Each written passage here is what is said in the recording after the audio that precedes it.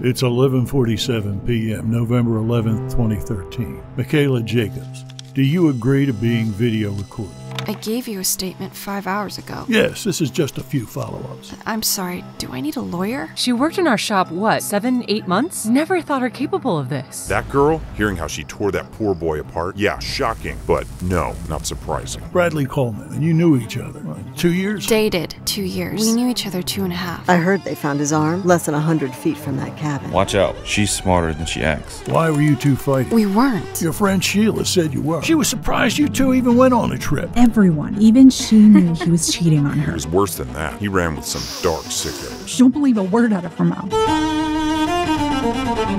Was he cheating on you? No. How was it you got left alone at the He cabin? hit me, then took the car. So you were fighting. They took her car. The man couldn't drive stick. She never missed a chance to mock him about it. Stop. My girl could not have done this.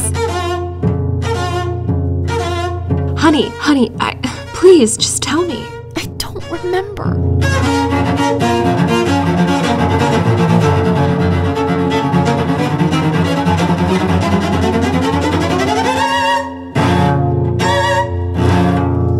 That's it? That's the last you saw him? That's it.